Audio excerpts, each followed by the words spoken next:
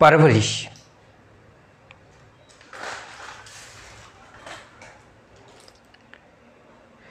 आज मैं आपको एक बात बताने वाला हूँ। कहानी के माध्यम से बताता हूँ। आप इसको जरा गौर से सुनिएगा और समझिएगा।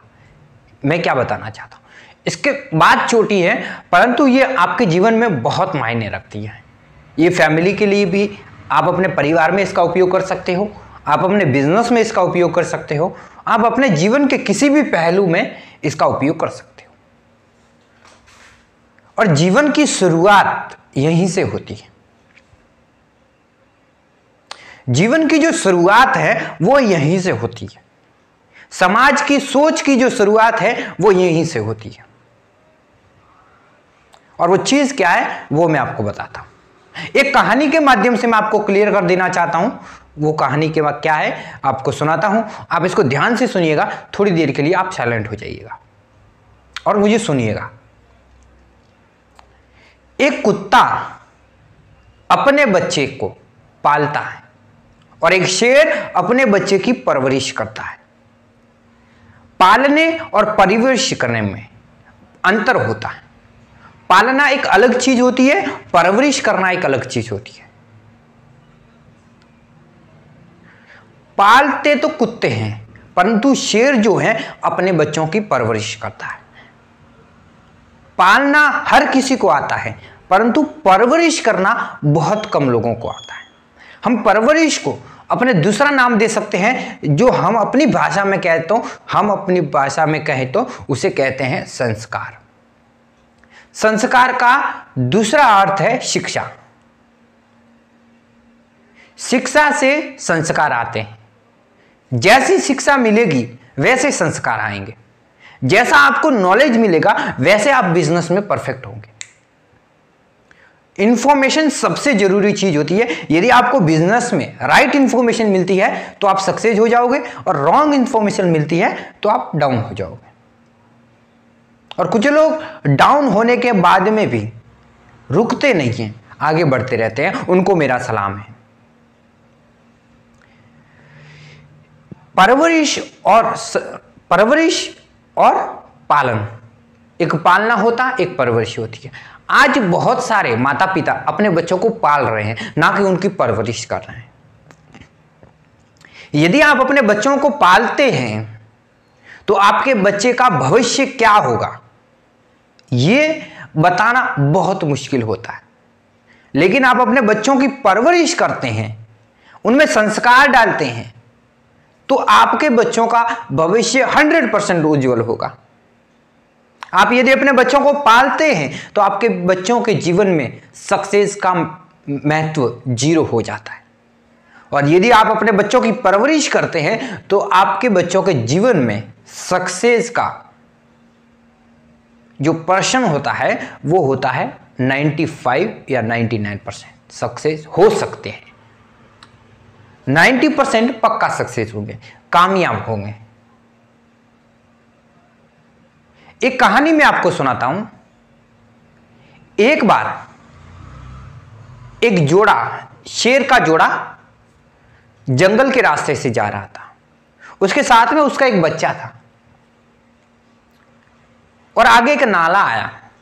तो शेर ने कहा कि, उस बच्चे से कहा कि आप इस नाले को कूद के पार लगा दो। कूदो और सलांग मारो और इस नाले को पार करो। बच्चा घबरा गया और पीछे हट गया। शेर ने ज़ोर खींच के एक तमाचा मारा उसको। शेरनी ने बोला, ये क्या कर रहे हो? बच्चा है, अभी तक छोटा है, समझता थोड़ा ही उसने कहा कि ये, यदि ये छोटा नाला पाल नहीं कर सकता आज तो भविष्य में ये कभी भी जंगल का राजा नहीं बन सकता।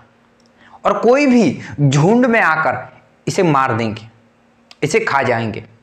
इसको आगे नहीं बढ़ने देंगे।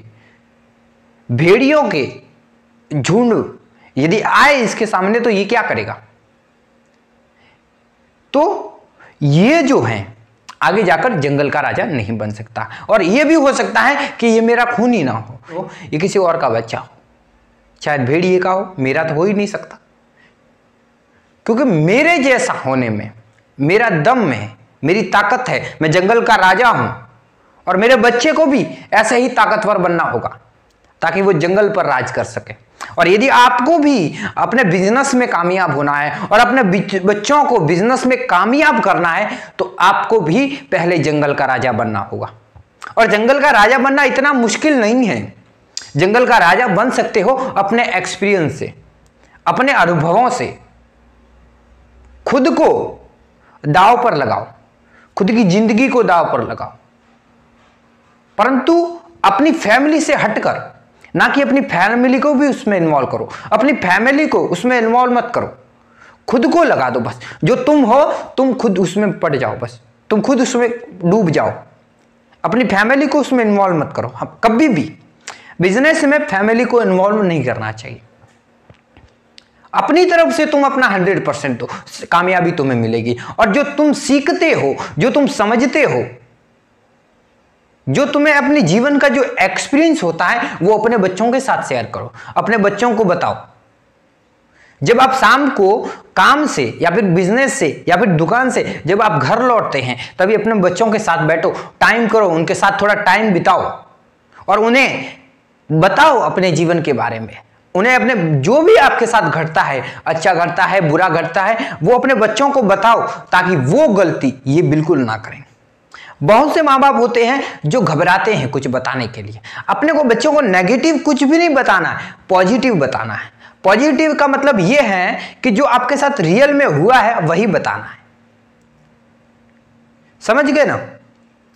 यानी कि जो रियलिटी है, वो अपने बच्चों को बतानी है। इसका मतलब ये नहीं है कि आप अपने पारिवारिक जीवन के बारे में बता दो, अपनी पति पत्नी के बीच में जो भी रिलेशन है, वो बता दो। नहीं। सेक्सुअल नेगेटिव, सेक्सुअल एक्टिविटी से अपने बच्चों को जितना हो सके उतना दूर रखना चाहिए। सबसे इंपॉर्टेंट चीज़ ये होती है कि सेक्सुअल एक्टिविटी से अपने बच्चों को हमेशा दूर रखें। उनके मन में विचार भी नहीं आना चाहिए। ऐसा माहौल अपने आसपास क्रिएट कर दो या फिर ऐसा माहौल अपने घर का बना लो।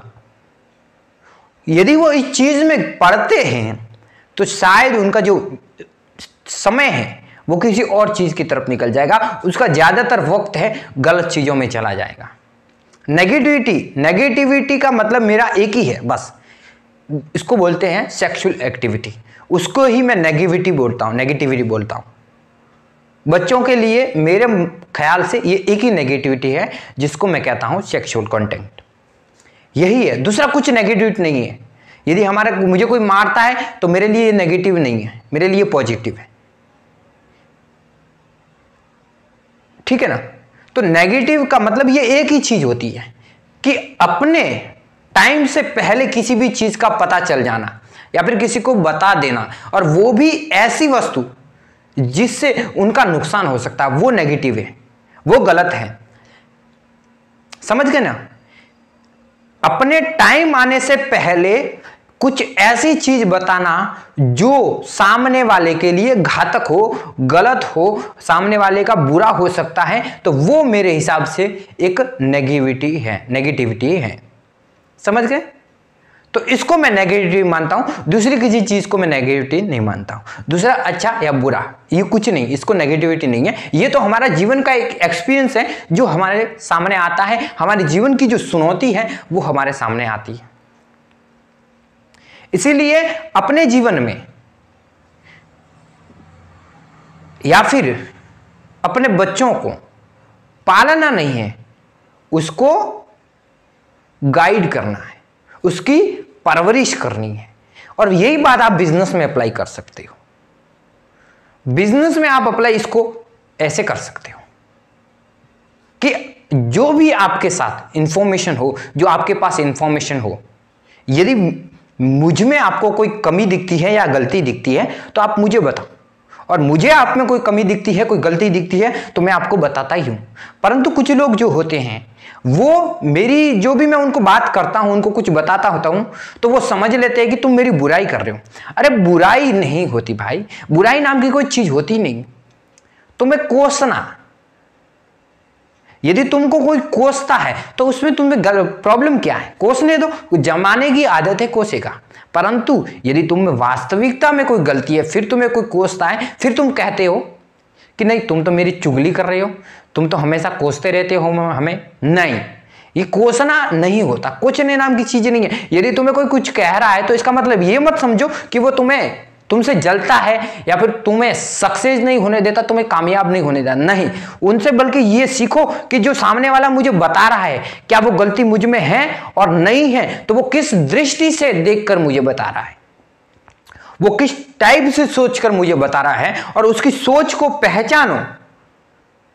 कहीं ना कहीं उसकी सोच आपके लिए काम आ सकती है। यदि मैं आपको कुछ कहता हूँ कि ये काम ऐसा नहीं, वो काम ऐसा नहीं, वो काम ऐसा नहीं, वो काम ऐसा नहीं, वो काम ऐसा नहीं, ऐसे नहीं, ऐसे करो, इसको ऐसे नहीं, ऐसे करो तो आप समझो, मुझे समझने की कोशिश करो कि जो मैं कह रहा हूँ, वो क्यों कह रहा हूँ।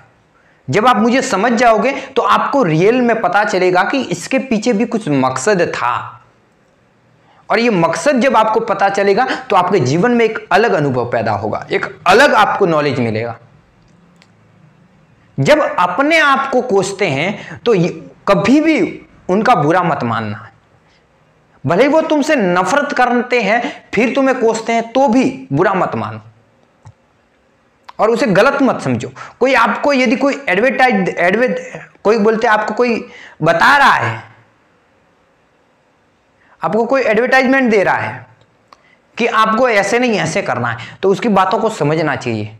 कहीं ना कहीं उसकी बातों में दम होगा, कहीं ना कहीं उसकी बातों में ऐसी आपको इंफॉर्मेशन मिलेगी जो आपके लिए ज़रूरी होती है। आपको कुछ सीखने को मिलेगा, आपको कुछ नया एक्सपीरियंस मिलेगा। कुछ बातें जो होती हैं, वो हमें बहुत देर से समझ आती हैं। परंतु अपने दुश्मन भी कभी कभी अपने को सही रास्ते पर लाने की कोशिश करते हैं। क्योंकि वो चाहते हैं कि मैं इनके साथ रियल में एक सही बंधन या फिर सही संबंध रखना चाहता हूँ। वो ऐसा चाहते हैं। परंतु कभी कभी हम लोग जो हैं, अपने घमंड में इतने चूर हो जाते हैं कि उसको समझने के बजाय उसको इग्नोर कर देते हैं।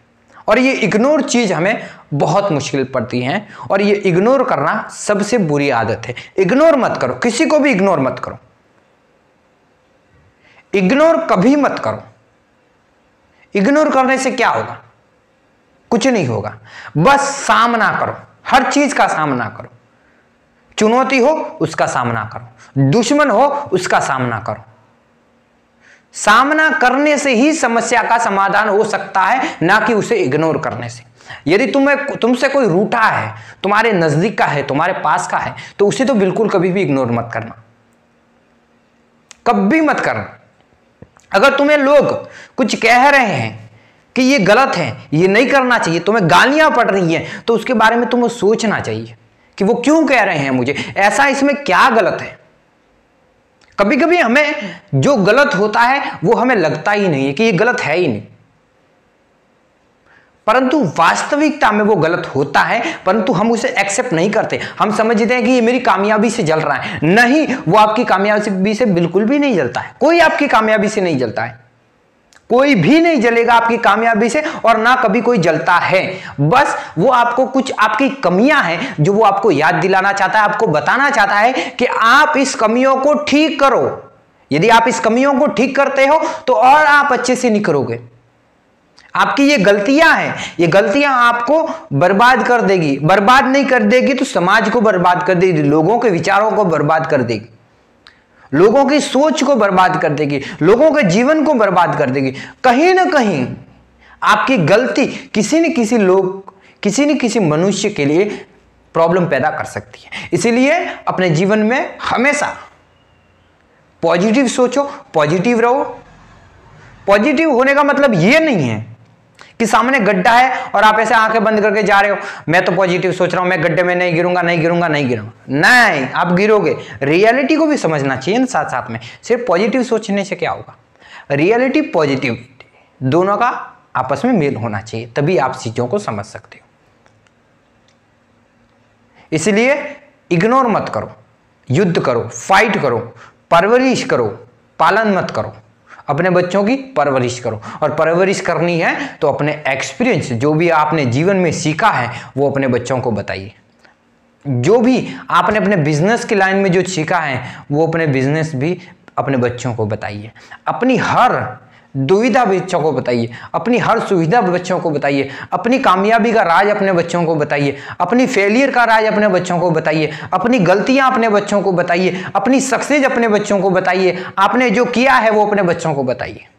ताकि वो आने वाले जीवन में आपको देखकर या फिर आपकी जो प्रॉब्लम है, शायद हंड्रेड में से दस प्रॉब्लम तो उनके जीवन में आएगी जो आपके रिलेटेड हो या फिर आप जैसी ही हो, वो उनके जीवन में आएगी और वो जीवन में जब उसके आएगी तो उसे पता चलेगा कि मैंने इस रास्ते से नहीं, इस रास्ते से जाना है। और वो जब इस रास्ते से गुजरेंगे तो वो और तरक्की की ओर बढ़ेंगे। इसलिए अपने जीवन में अपने बच्चों की परवरिश करो, अपने बच्चों को टाइम दो, समय दो। ज़्यादा पैसा कमाना ज़रूरी नहीं है। सक्सेस का एक और भी मतलब होता है, अपनी फैमिली को खुश रखना, अपने बच्चों की परवरिश को अच्छा करना यह भी एक हमारी सक्सेस है। और अपने बच्चों की परवरिश करना यह सबसे बड़ी सक्सेस है। इस दुनिया की सबसे बड़ी सक्सेस जो है, अपने बच्चों की सही परवरिश करना। इससे बड़ी कोई सक्सेस नहीं है, कोई होती ही नहीं है। क्योंकि आपकी परवरिश आने वाले समाज का भविष्य तय करता है। आपकी परवरिश आने वाली प्रकृति का समय तय आने वाली प्रकृति का जो है, भविष्य तय करता है। आपकी आने वाली सोच का भविष्य तय करता है। आपके आने वाले बच्चों का भविष्य उज्जवल करता है। इसलिए अपने बच्चों को हमेशा सही संस्कार दीजिए, परवरिश कीजिए और वैसे ही अपने बिज़नेस में अपने पार्टनर्स को, आपके साथ जो काम कर रहे हैं, जो आपके लिए काम कर रहे हैं, उनको सही एडवर्टाइज दीजिए, उनको सही रास्ता बताइए। वो भूल करते हैं तो उनको सुधरने का मौका दीजिए। और आप भी अपने